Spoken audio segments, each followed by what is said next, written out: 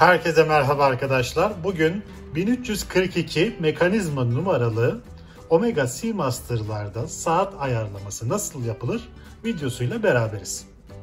Arkadaşlar bu saatimizi elimize aldığımızda şöyle söyleyebiliriz. Elimde bir de bambu çubuğum var. Biraz sonra işime yarayacak.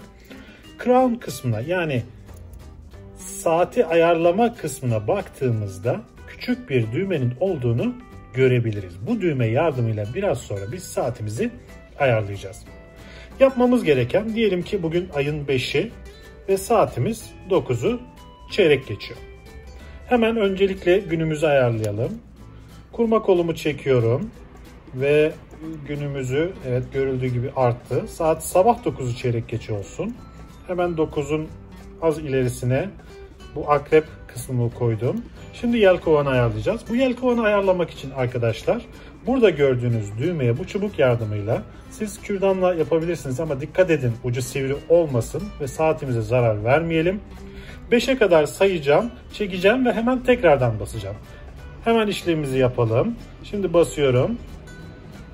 Gösterelim tekrardan. 1, 2, 3, 4, 5 çek ve tekrardan bas.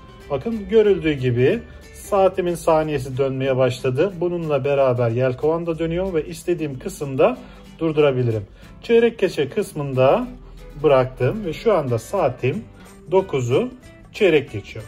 İzlediğiniz için teşekkür ederim. Beğen butonuna basmayı unutmayın.